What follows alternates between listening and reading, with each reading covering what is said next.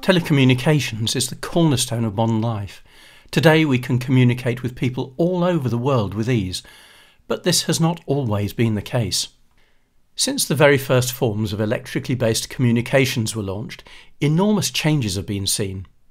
And the history of telephones and the telegraph is particularly interesting. The first telegraph systems gave way to the first phones, and then technology moved on to see the introduction of the first mobile phones and more.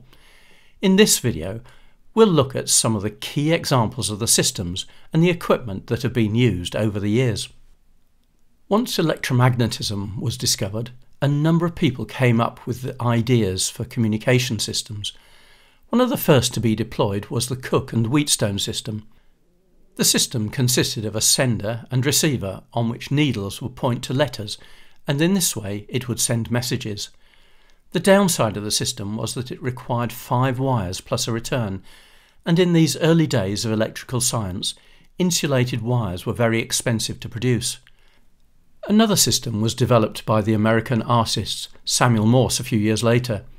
It used only a single wire and a return, but relied on sending a series of on off signals of different length, dots and dashes, and this conveyed the message.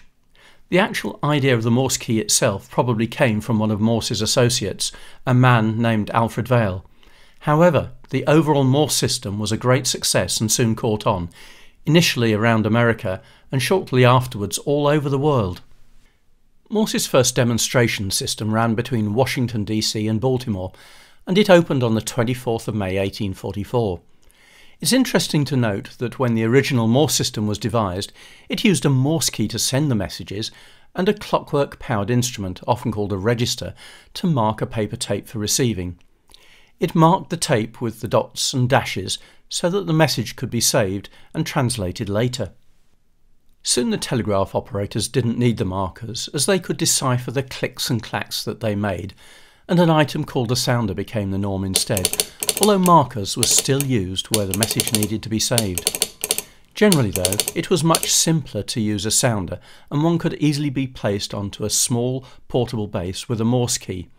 This was often known as a KOB or key on base. These were ideal because American telegraphers were often itinerant and used their own keys and sounders, simply connecting them to the wires of the telegraph system.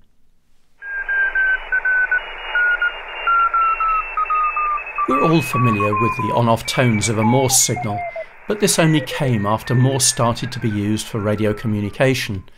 Morse code became the mainstay of many of these links, often being used by the military. One interesting key was used in the Second World War by the RAF, and it was called a bathtub key as a result of its shape. It was enclosed to stop the possibility of sparks between the key contacts, causing explosions in an aircraft where it was thought the concentration of fuel fumes might be dangerously high. Although messages could be sent using these systems, people wanted to be able to actually speak to one another. From the 1840s onwards, a number of people started to come up with ideas for the first telephones. There's actually a lot of controversy about the actual inventor, and names including Johann Philipp Reis, Elisha Gray, Antonio Meucci, and of course Alexander Graham Bell, as well as a number of others. They're all names associated with the invention, although Bell's name is often the only one spoken about.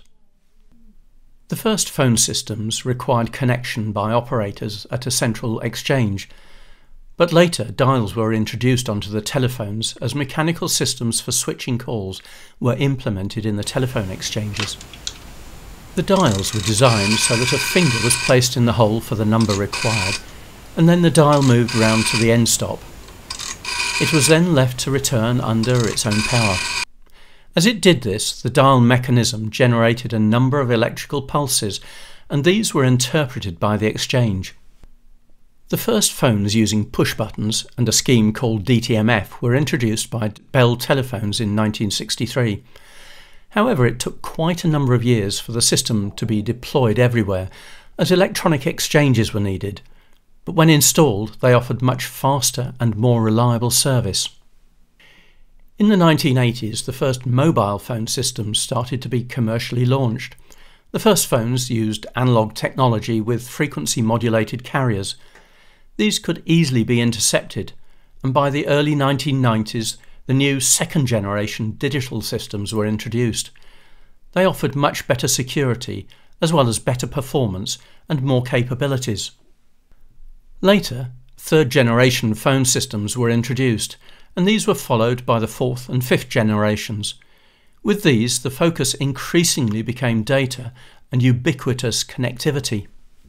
In around 150 years, electrical and electronic based telecommunications has moved from the relatively simple wired and code based systems that were only available at telegraph offices through to the mobile communication systems of today, where people have their own phones and access to the whole system. They have access not only in large busy cities, but also in vast rural areas where large phone masts may often be seen. The development in technology has been huge, and this is only set to continue into the future.